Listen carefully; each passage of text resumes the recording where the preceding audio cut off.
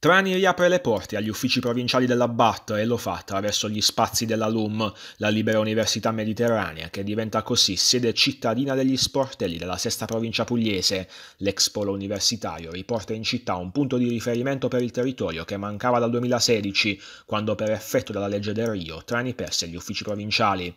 Il complesso provvedimento già annunciato dal sindaco Medio Bottaro ad ottobre ha permesso all'amministrazione comunale di stringere una forte sinergia con il presidente della provincia Bernardo Lodispoto attraverso il lavoro del consigliere provinciale Giuseppe Corrado. All'interno della nuova disposizione anche la strategia che risolve il problema degli spazi per i licei cittadini, con l'acquisizione di nuove aule per il liceo classico De Sanctis e per il liceo scientifico Vecchi, Nonostante il risultato ottenuto, non mancano le critiche alla collocazione degli uffici provinciali, che andranno ad occupare un immobile privato, lasciando inutilizzati invece alcuni spazi pubblici della città, e la nota di Raimondo Lima, membro della direzione nazionale di Fratelli d'Italia, che tra le possibili alternative indica Palazzo Vischi. La struttura, in precedenza sede della biblioteca comunale, rappresenterebbe un'opzione logisticamente più raggiungibile anche dalla cittadinanza, problema sollevato anche sui social, con diversi utenti che lamentano le distanze tra la nuova sede degli uffici provinciali provinciali e il centro abitato. Per il momento, in attesa dei riscontri logistici, Trani riabbraccia gli uffici provinciali dopo cinque lunghi anni.